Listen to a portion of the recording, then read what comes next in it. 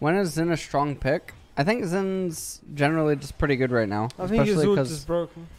Yeah, especially because yeah, you would of course. I mean, Gwen has it on a uh, you know 10 second Yeah. cooldown.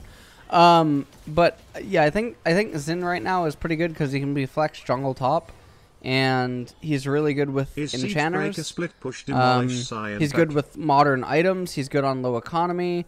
Um, he's good at suffocating when ahead. Um, he's good at playing from Xin? behind even because again low economy. So Yeah. Which champ Xin? Xin, yeah, You you said this champ will be broken, right? I Yeah. A while ago. I mean, this champ it just creates time for free, right? Like it creates space for nothing. Yeah. It just does, it just ignores damage. That is just an insane thing to have. yeah, It's just uh, absurd, uh, honestly. Mm. And it's just perfect in this bruiser meta, where it's close quarter combat. Yes.